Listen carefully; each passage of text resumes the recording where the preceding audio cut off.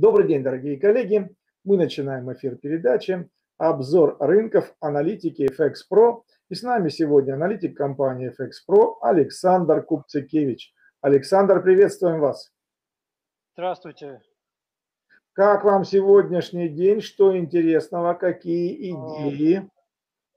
Ну, я так, так скажем, вчерашний день был очень такой неожиданный для меня, э, неожиданно, э, э, так скажем, неспокойный.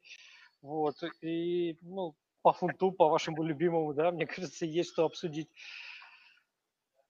Да, давайте посмотрим. Мы готовы Давай. э, ну, торговать вместе с вами и зарабатывать на вашем таланте. так, ну, давайте по- по- попробуем. Так, я включу сейчас свою презентацию. Давайте. Видим хорошо. Так. Ну так вот, для начала такая краткая сводка дня, да, что мы имеем. Э, Экономический календарь на сегодня загружен, ну так, как я оцениваю, средненько. Здесь и ко- количество данных, э, и их важность. Э, Вчера, например, он был ближе все-таки к э, очень высокой занятости, был такой довольно загруженный, но сегодня уже чуть-чуть так, полегчало. А, Сегодня тема дня– это данные по инфляции. Выходят э, данные по инфляции в Британии. Они вышли, но, к сожалению, я, я их не увидел, по- пока готовился к презентации. А, По Британии, потом скоро будут данные по еврозоне, потом Канада. Так что сегодня инфляция, на- мы, так скажем, в конце дня получим такую общую что происходит в потребительской инфляции в целом мире. Чуть-чуть раньше, на, на прошлой неделе выходили данные из э, Штатов, так что о, в целом, ну, так скажем, будет нам понятно, да, что происходит. А, наш индекс волатильности э, на валютном рынке, он по- по- подрастает, но это благодаря э, движению накануне, а при этом волатильность на фондовых площадках, она остается низкой, она вот, э, смотрите, индекс VIX э, на 12,86, плюс 1,42%, это очень мало, а, вот, и оно не близко к нижней границе того, что мы видим за последний год. Как правило, волатильность низкая, э, рынки растут. То есть, когда рынки растут, э, трейдеры не ждут особого какого-то движения в будущем.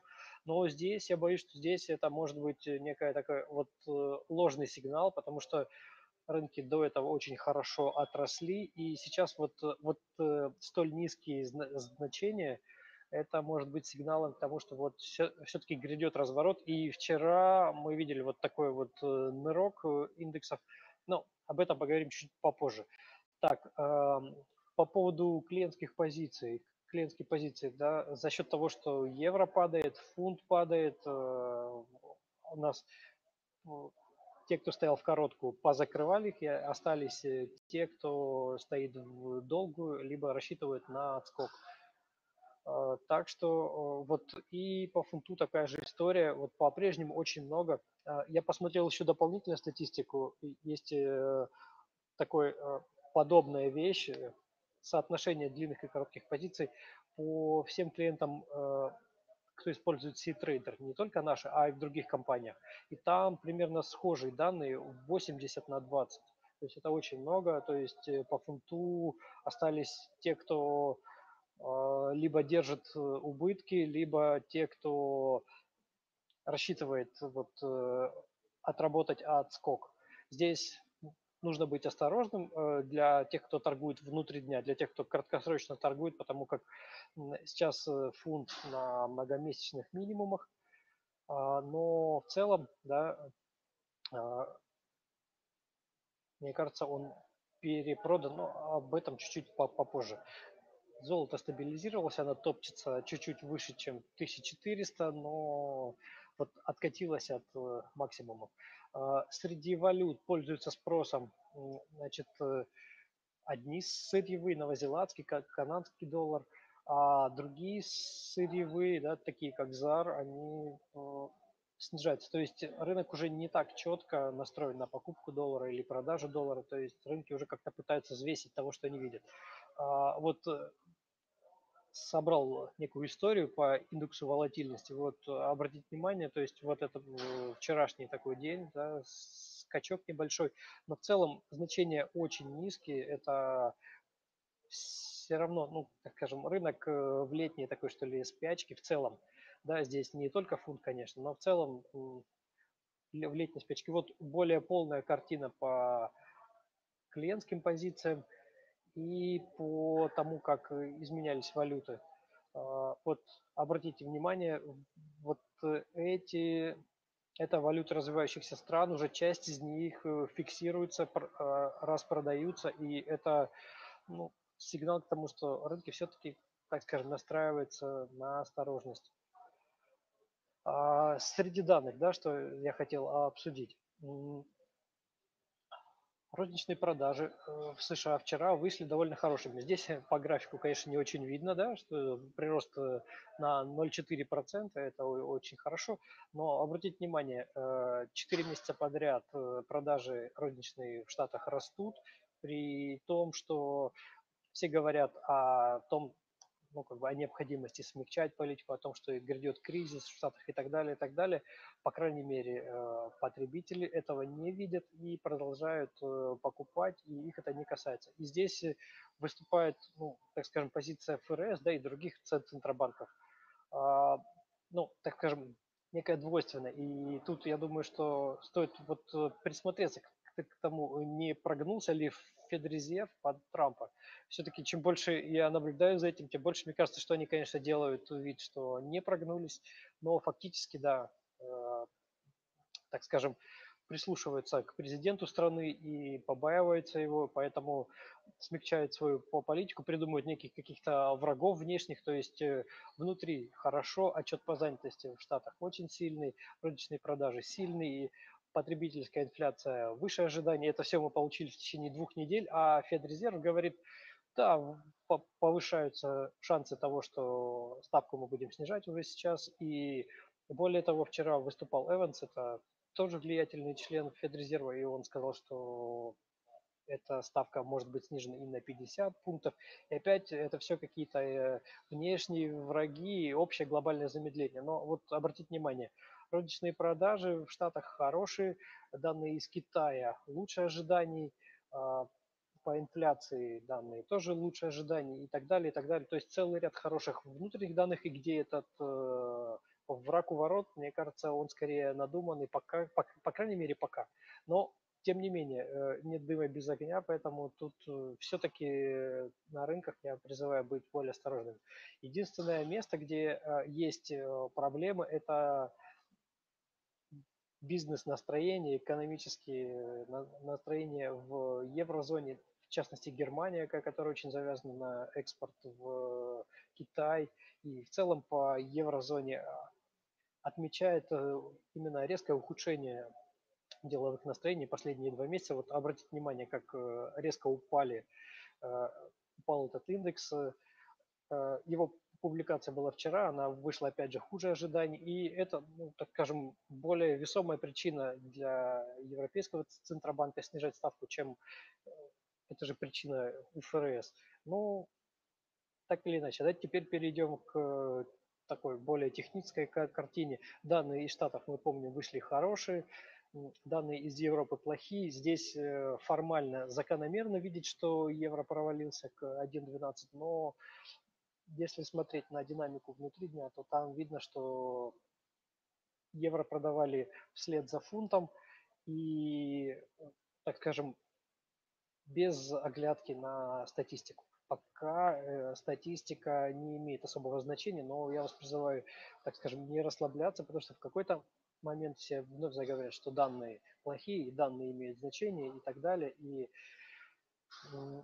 может быть, э, как раз-таки это все будет влиять на, на настроение по монетарной политике, и чем ближе к концу месяца мы подходим, тем важнее будут эти данные. Э, напомню, 25 числа, по-моему, будет э, заседание ЕЦБ, то есть а 20 9-30 будет э, заседание ФРС, и 30 а, ФРС, э, ну, как ожидается, да, снизит ставку. И посмотрим еще, стоит посмотреть на комментарий поставки. И со стороны технического анализа здесь важно отметить, что отметка 1.12 э, это такой вот краткосрочный уровень поддержки. С начала июня пару вы, выкупают на снижении к, к этому уровню, но тем не менее сейчас мы видим общий такой настрой на тягу в доллары, и поэтому я думаю нужно присматриваться к тому, как поведет себя пара вот, э, на падении к 1.11. Так, а дальше. По Британии.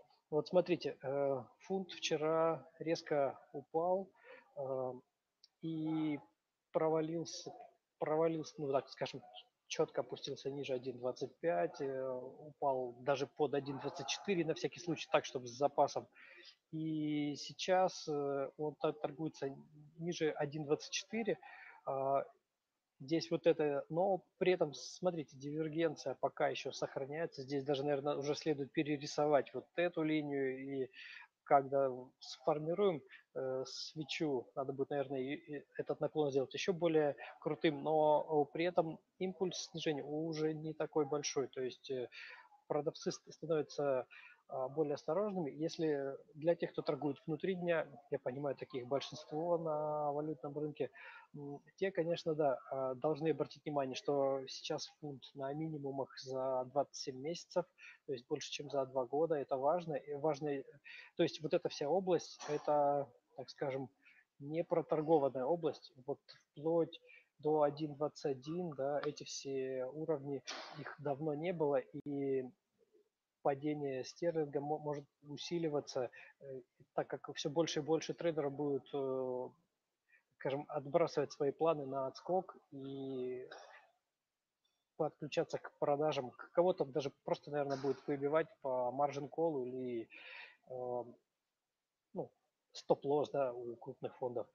Поэтому смотрите за эти уровни. Ну, а для тех, кто смотрит чуть-чуть на более широкую перспективу, мне кажется, им следует понимать, что вот эти значения по ну, а, между 1.20 и 1.25 это те уровни, где фунт торговался, когда были максимальный накал страхов вокруг э, Брекзита, и сейчас все-таки накалы больше, ну, так скажем, с, э, имеют такой им, импульсивный характер, потому как э, этот э, Борис Джонсон, который лидирует в гонке на, на то, чтобы стать премьер-министром и такой поклонник жесткого Брекзита, он все-таки, я думаю, не настолько, э, ну, так скажем, э, я представляю его себе как э, аналог, некий а, британский аналог Трампа, то есть на словах очень резкий, но фактически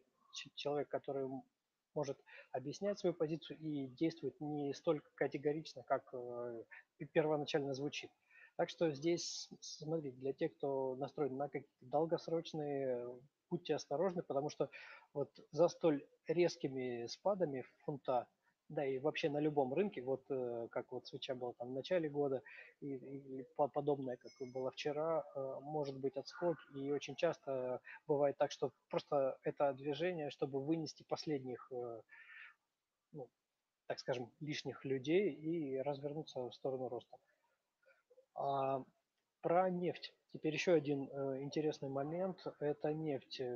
Несмотря на то, что рынки продолжали расти, нефть потеряла свою тягу к росту в последние дни и развернулась к снижению. Это снижение усилилось. И вот по WTI очень такой вот э, важный момент. Это такая вот территория бычьего рынка. Бычий рынок э, – это такая условная граница, 20% э, от минимумов локальных. Как, вот от этого минимума прибавляем к ним 20% и получаем некую территорию бычьего рынка, это, это означает, что, мол, рынок растет и движется дальше, и в целом, ну, как бы, будет по позитивная динамика и далее.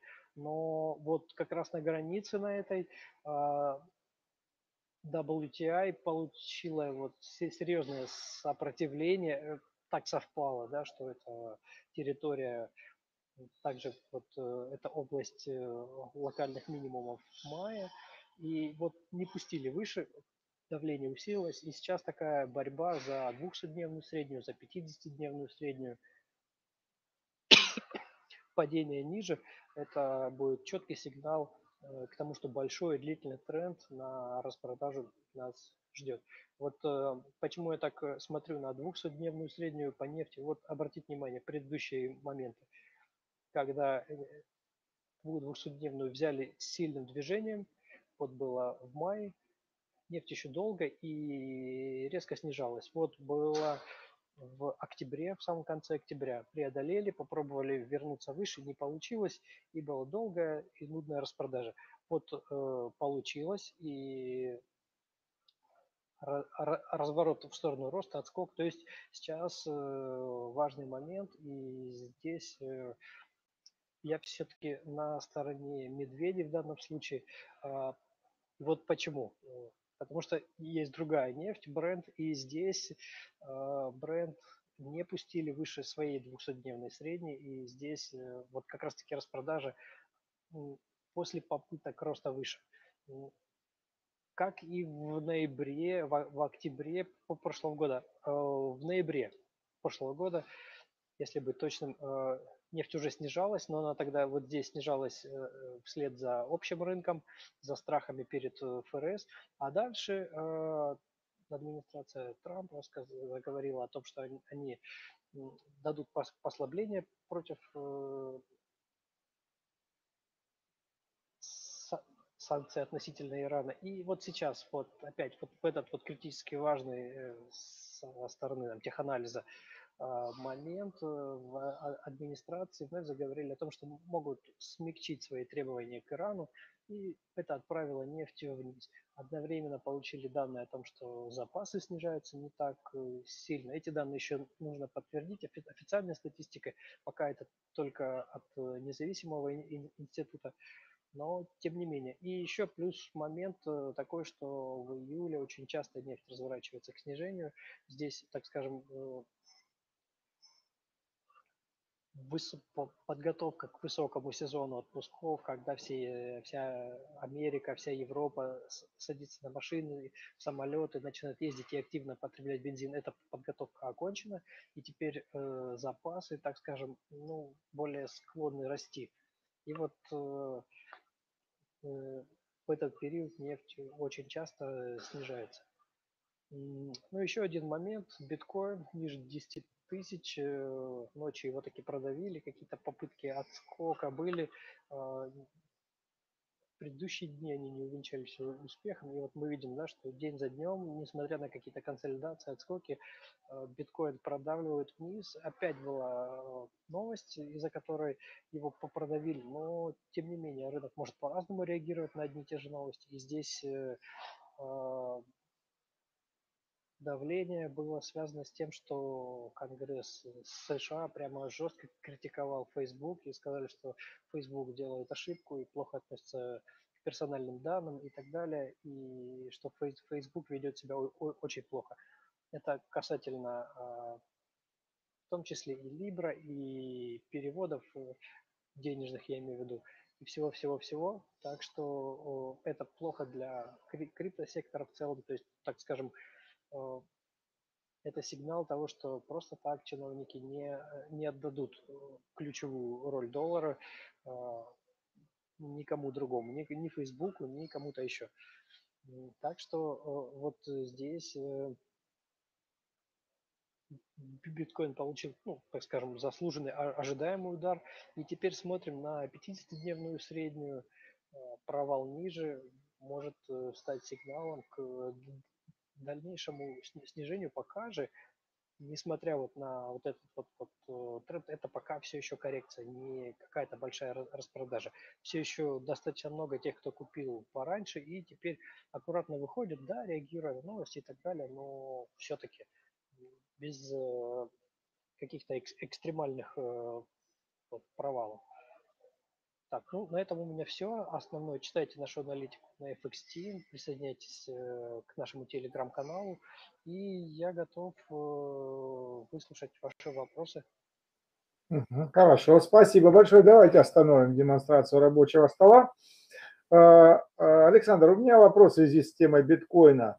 А, сейчас бурно обсуждается вот этот рост биткоина за последнее время, особенно связывают многие с Либрой все-таки. Вот как только остановили Либру, начали критиковать, э, э, то как бы и, и все развернулось, в том числе биткоин. На ваш взгляд, вот вы внутренне относите вот этот рост криптовалют за последнее время э, именно к Либре? Или, может быть, еще какие-то были другие важные движущие факторы позади этого роста?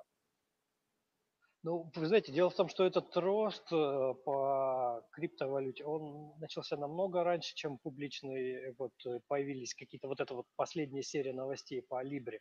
То есть э, сперва появились покупатели, да, это потом уже Либра присоединилась, ну, как бы в сторону, вот, э, и помогла э, сделать вот этот новый виток роста. Именно самое последнее движение, вот этот вот скачок э, в конце июня, вот он уже связан, да, с Libra. А до этого вот этот рост от трех с лишним тысяч, нет, это уже были те люди, которые вот сказали себе, все, хватит, биткоин отпадал, криптовалюты отпадали, mm-hmm. можно брать, уже достаточно привлекательно и так далее. Вот они так, но до сих пор есть вопросы, есть ли смысл в биткоине э, выше 10 тысяч? Я не имею в виду, конечно, какие-то глобальные вопросы, есть ли смысл вообще в нем, да, а вот э, не, не слишком ли дорого? Угу, угу. Поэтому 10 тысяч это, это все-таки важная планка. Я думаю, она еще какое-то время побудет с нами. И здесь, ну, так скажем, будет уже, да, движуха зависеть от новостей. Я понял. То есть вы 20 тысяч по биткоину не видите? А, это будет, наверное, но намного позже. То есть не, это не вот продолжение одной волны. То есть это не, не в декабре, так скажем. Я понял. Ну, я, кстати, смотрю, что появляются уже инструменты на американском рынке, а, покупка колов, а, значит, э, с целью, э, там, э, будет ли биткоин 100 тысяч долларов к декабрю 2020 года такие опционы уже появились. Я буквально вчера... Они, наверное, дешевые. Да, да. Я вчера буквально прочитал, был, мне сам, меня сам факт, я как бы даже цену не досмотрел, мне сам факт удивил. Думаю, ну надо же, уже 100 тысяч долларов, такой тонкий, тонкий такой пиар идет, маркетинг. Вот. Ну, да. ну, посмотрим, да, я согласен. Ну, то есть ваш подход к биткоину 20 тысяч будет в нашей жизни, но не в декабре. Я понял. Ну да, да, да, не в этом году. Я думаю, что сейчас, в, вот после вот этого вот э, ралли с 2017 года, а, вот движение по биткоину, оно будет более размеренно. То есть да, есть рывок какой-то, но, а, так скажем, стало намного больше тех, кто имеет э, продать биткоин, те, кому э, уже есть что продать. И это важно, это, ну, так скажем, это будет портить общий настрой. Но в целом, а, знаете, если биткоин будет э, вести себя вполне, ну, так скажем, сдержанно, да, то это пойдет на пользу всему крипторынку, потому что как тот инструмент, который растет, он просто лежит в карманах э, у инвесторов и, ну, так скажем, не продвигается на рынке, он не получает распространения. Купил и забыл. Вот это не то, что нужно криптовалютам сейчас. Поэтому как раз-таки стабильность, да, это то, что, ну, вот, э, то, что пойдет на пользу в целом рынку. Я понял. Мне вообще кажется, что на крипторынке вот эта стратегия фондового рынка э, Уоррена Баффета «купил и держи», она, знаете, происходит? Она происходит случайно, когда люди забывают пароли от криптокошелька. Признаться стыдно, а купил и держи.